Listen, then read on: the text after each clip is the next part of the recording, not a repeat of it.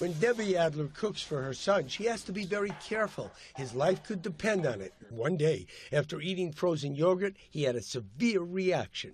And he passed out in my arms.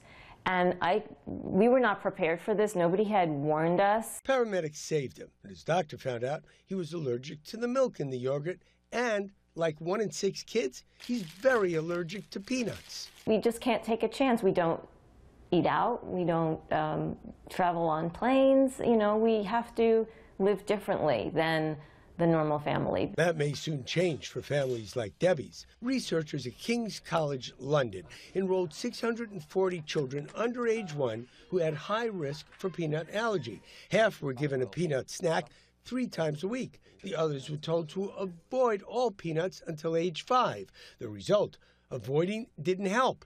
Getting a little at a time did. 17% of the kids who avoided peanuts were allergic by five. Only 3% who ate the peanut snacks were allergic. Consumption rather than avoidance seems to protect against developing peanut allergy. A little bit of consumption seems to teach the body peanuts are not an enemy. You need to be introduced to these proteins very early on in life. Sean is older now, but Debbie hopes the technique helps families prevent the life threatening reaction Sean had. It would change our lives significantly if he could eat all the things he's allergic to.